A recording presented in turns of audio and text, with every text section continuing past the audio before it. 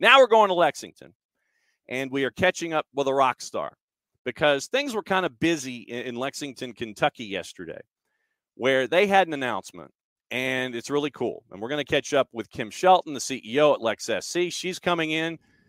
Kim, you're in your dress greens. I see that. Congratulations on everything. Welcome to the morning show on the quick turn after a very, very busy day. Thanks for dropping by.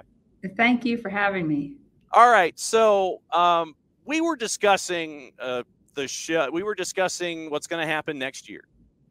And we saw some things that were posted on social media about a rivalry that is coming, an, an anticipatory rivalry. And the, the new Kentucky Derby. We, we are looking we are looking forward to the Kentucky Derby here on, on the SDH network but we posited an opinion, and I don't know if you could pull this off, but if you could, it would be fantastic. Could you talk to your your up and coming friends over in, in Louisville? And is there a way that you could have the Kentucky Derby at Churchill Downs? Is this even a possibility? Could something like this happen to celebrate the new Kentucky Derby when it comes online? You know, look, nothing's off the table, right? Nothing's off the table. Um, we are so excited about the what the rivalry ahead uh, has in store for us, and look, we'll, we'll explore all the possibilities. We want to make this so special for our fans. Any ways that we can do that? I love the idea. Um, there's a there's a lot that goes into that, but um, it, look, uh, I think uh, if if you if you watched the press conference yesterday, and Jeremy at the USL talked about ambitious clubs. Um, and, and I think what you're seeing from us is ambition. And so, yeah, nothing's off the table there. The ambition that we have been able to watch with the, the growth of the franchise, both in geography and in desire, both on the field and off, for those that haven't had the chance to drop in and see all of the construction, all of the thought, all of the the growth toward the the next levels of the game what in the wide world of sports is going on up there in Lexington where you guys are building out, you're building up, and you're really becoming a part of the soccer presence here in the Southeast? You know, um, there's so much going on and it's amazing, right? Um, as, as, you know, when I came onto the club and talked to our ownership about, you know, why are you doing this, right? Uh, you know, why are you taking this on? And it, it's about, you know, for, for our ownership, it, it's it's about the kids right? And providing an opportunity. So, you know, on our complex, we've got seven, you know, high end turf, fully lit fields for, for our youth club and our academy.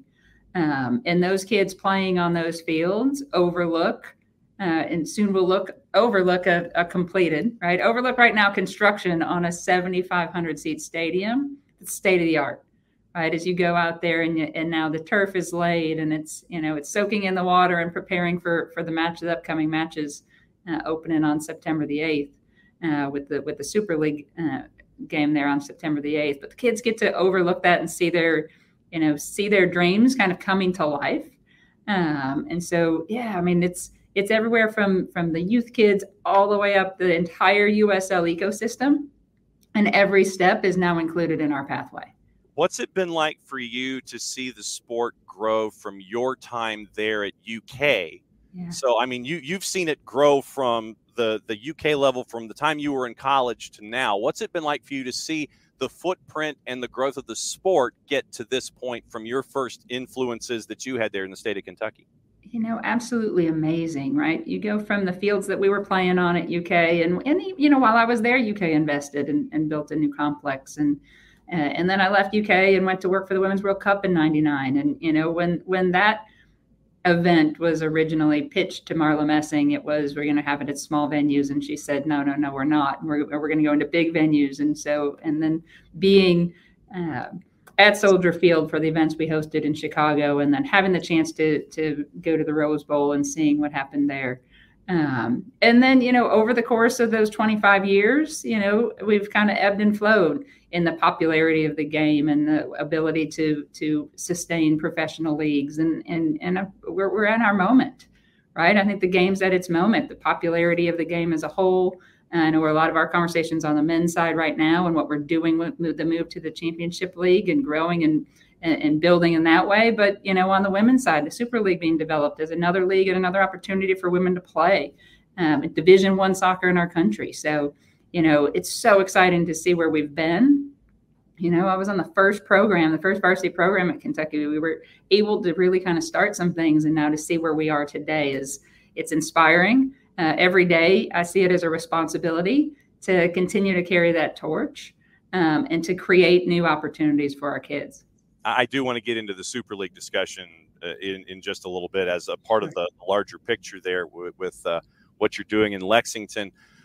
But at the USL League One level, I mean, right now there are numbers out there, depending on your source, that the level of investment in the in the type of player that you're looking for there at Lex SC, you're not messing around, and you mm-hmm. haven't messed around. I mean, when when Cameron Lancaster was a name that was mentioned, it's like, whoa, okay, you're serious from jump here. So the level of investment in the players and what you want to see on the field has been there from the absolute beginning. It hasn't been an afterthought. It's like, yeah, we're in League One and we're going to go to championship. No, we're going to have quality talent with our League One team, and then we'll grow and continue to go to championship. So you guys haven't been messing around at all. That's right. That's right. I mean, the investment in the players, the investment in the facilities, the investment in the staff. Um, our, uh, we're blessed. Our ownership um, is committed, right? Um, they're committed. They're ambitious. You know, they're competitive right? Uh, fiercely competitive. You know, we're, we're pushing for success, um, and success can mean a lot of different things.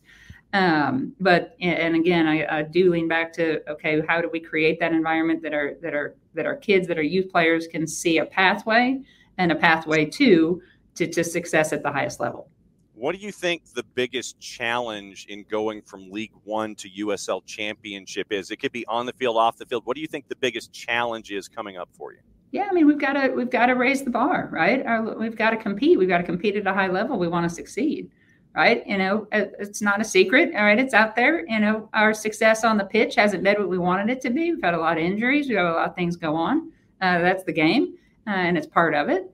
Um, so yeah, we've got to we've got to dig in. We've got to compete, um, and, and, you know, uh, continue to invest in, in players that are going to get that are going to get us to that next level how difficult is investment in today's age where as soccer continues to grow and it grows exponentially because of all of the leagues because of all of the cities that are now involved the southeast in and of itself especially in usl league one a huge part of the footprint of the development of the league. How difficult is it these days to set yourself apart to sit there and say, you need to come under our tent flaps as opposed to going someplace else when it comes to how you want to grow and how you want to continue to present yourself as that steward in the community? Yeah, I, I think that. If, if, you look at our club and you look at the investment that's been made in the in if for nothing else the facilities and I know right now we haven't had a lot of people out there yet. You've, you've not yet seen what's being developed uh, at our new facility, and, and you will very, very soon. Um, and when you see that, right, as a player, we've had a, there was a couple of our players have had the chance now to step out onto the pitch and say, "Wow, I've never played on anything like this before," right? And so creating that environment. Um, we talk about inspiring our young people, but even inspiring our pros, right? Um, so you know, I think I think if if we can get if we get a player in in town and can see what what we're developing and what we're investing in and our commitment to this club, um, I think I think there'll be a lot of a lot of folks that'll be interested in, in coming to Lexington. Kim Shelton, the CEO at Lexington SC, hanging out with us here on the morning show. Exciting news as they are going to be heading to USL Championship next year. You've got USL Super League coming up uh, in short order. What's it like for you and the staff and everybody there to, to juggle all of these different kinds of chainsaws that you're having to do and dance at like 9,000 miles an hour to make sure that everything is going the direction you want and that nothing gets left behind or neglected, that everything moves together as one piece? Yeah, it's intense, right? Um, you're building a stadium, you're launching a, a, a new team and a brand new league. Um, all the while uh, in the midst of a, of a League One season and planning to move up to the Championship League. So there's a, there's a lot happening. We've got great people, um, great people who are committed uh, and passionate about what we're doing. Um, you know, from the from ownership to front office staff to you know sporting sporting staffs and and players. Right, I think the players get to see what we're doing. So Um, it, it is a juggle for sure, um, but we've got great people um, March and March. Super League. And I, I, know that that's another part of this equation here, the, the growth, of, growth of the collective there. What has the vibe been like? What's the level of excitement been like as you're getting ready for this next part that is the the large umbrella that's everything going on there in Lexington? What's the level of anticipation like? So exciting, so exciting. We're you know it couldn't happen at a better time, right? As you think about the momentum behind women's sports at this moment in our history, um, we see this as our moment, right? This is this is a moment in time that um, that opportunity exists and more opportunities being created for women in sports and and here in professional sports.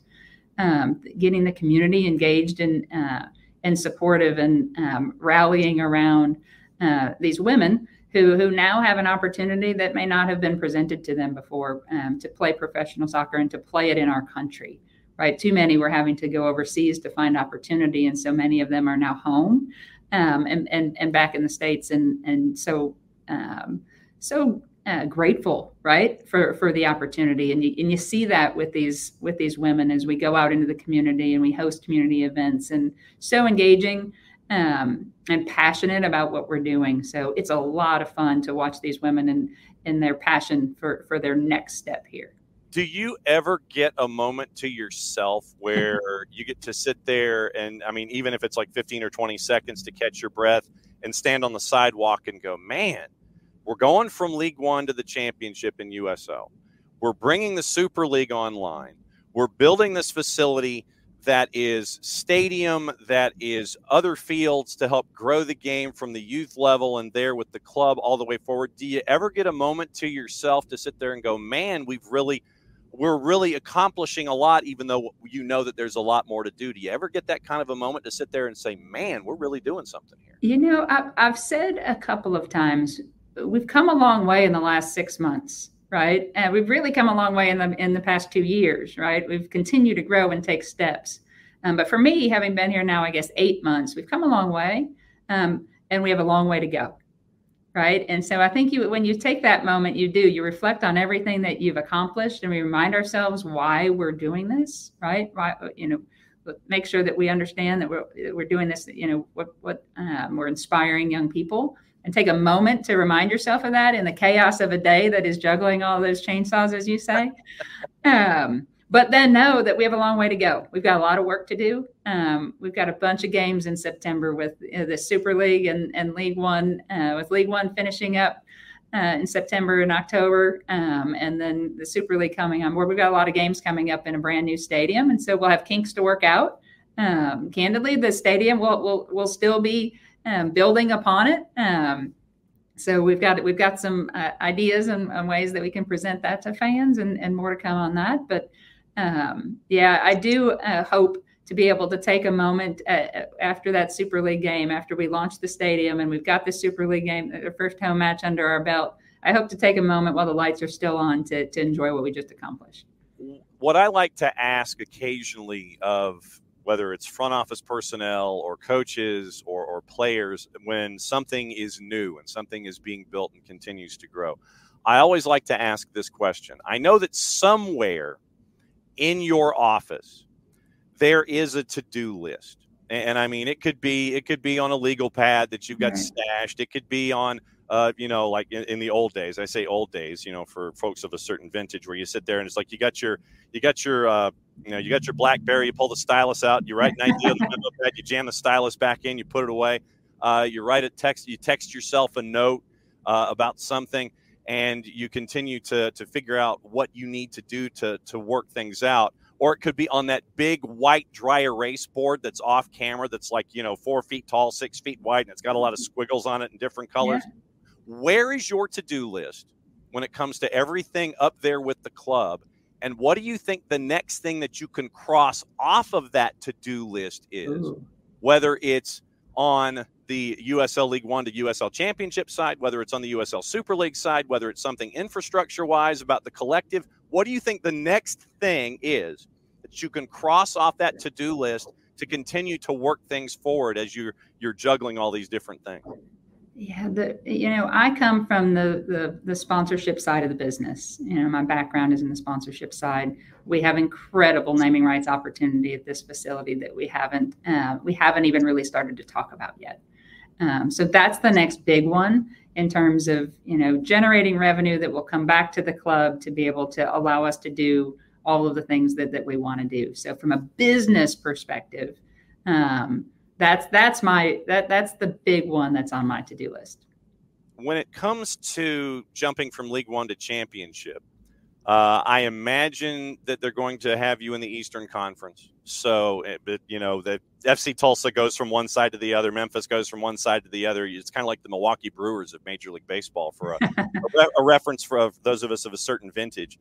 When it comes to all of the the the financials that come in play for taking that big jump to USL Championship. I know that you're doing that in investing in players, but then there are all of those other elements that are attached to it. How much work is it going to be making sure that your budget is uh, acceptable internally to where you can make the flights to Rhode Island to take on Rhode Island FC, that you're giving the best to the players, that you're taking care of everything going on down there in Lexington? How much of it is a concern making sure that your budgets are going to be where right now you're doing a great job, that you can continue that momentum going forward. Yeah, we're blessed that our ownership has in, have invested generously to, to to get us to the place that we are, um, and to the point on the next on the to do list. I think generating those revenues that will allow us to compete as we look at it from a budget perspective with the the top tier of the championship league. Uh, we didn't come into this to, to to just stay at the bottom tier, right? We want to be in that top in that top group. Um, and so, you know, we're we're in the middle of having some of those budget conversations, but you know, from my perspective and with my background, it is about how do we generate. We've got to go generate that revenue uh, to to make sure that we are competing it, with with our investments in the club. And, and I know that uh, you know when you have attendance figures being what they are, you're still out drawing some of the folks in USL Championship right now with what you're doing in League One. I know that you want to have more folks in the seats there in League One and getting ready for the new stadium in USL Championship. Uh, plans to improve attendance. One of our folks on the Twitch pitch is asking about that. What are the plans to uh, improve attendance right now this season and leading into the new barn as you go into USL Championship next season? Yeah, we feel confident that the move from Georgetown is, as you may know, we're, we're playing at a, at a neighboring community that had a, a where where we were able to to launch our club. The yeah. move from Georgetown to Lexington, I think, just naturally will create um, some of that. We're also spending a lot of time getting out into the community, making sure that our community knows our players, knows our coaches, knows knows our leadership.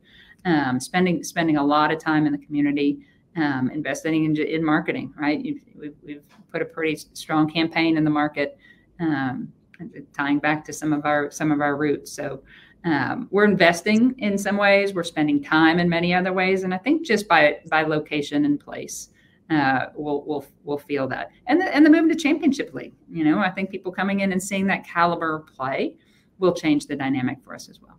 That and having a game at uh, churchill downs against uh, City. And, the, and then there's that then there's that. Uh, thanks for coming on on absolutely the shortest notice humanly possible. Literally yesterday, uh, we dialed up and it's like, hey, we'd like to have somebody to come on and talk about it.